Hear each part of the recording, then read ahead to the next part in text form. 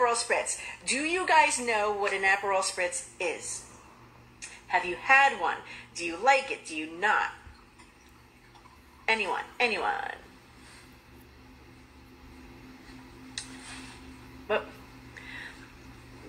I know you can't win my glasses. Actually, I bought them online. I can give you the link if you want. All right, so this, if you haven't seen it before, you want to sit down with me? Yeah. Okay, hold on. Is an Aperol Spritz. This is one of my favorite things in the world, my favorite drinks, because it's so darn refreshing.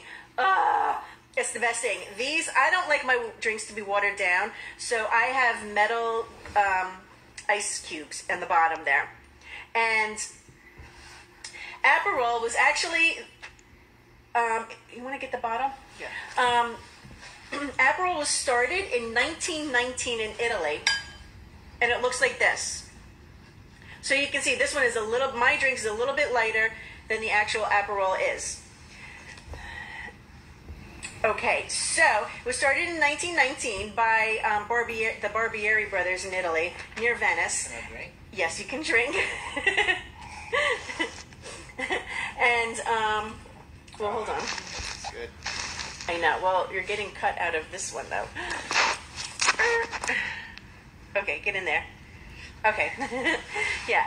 Um, so, uh, where was I? Oh, and in 1950 they created the Aperol Spritz.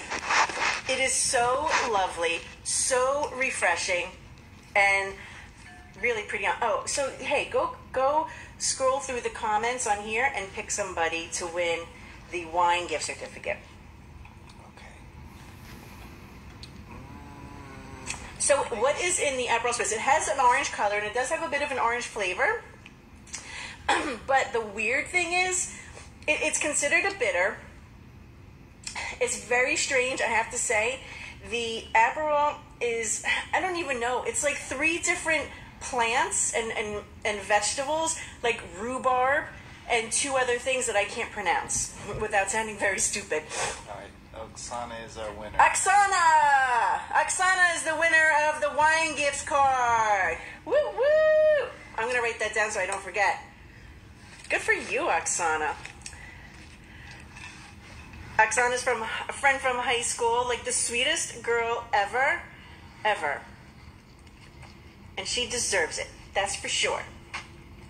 All right, congratulations, Oksana. Chin chin, salute.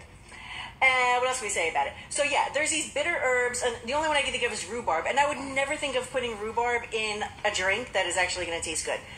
But here we are with an Aperol Spritz. So it's Aperol, Prosecco, and get the Pinot Grigio. So a lot of people put, um, uh, what do you call it? Club um, soda. club soda into their Aperol Spritz. But we went to this bar, like an Italian restaurant by our house, and there's this European bartender, and he told me, Pinot Grigio. He's like, don't put in, um, because his were always so much better than ours, and they were just so much smoother and amazing. And then I was like, what? Why? What are you doing that yours is so much better than mine? Pinot Grigio is the trick. I never would have thought of Pinot Grigio.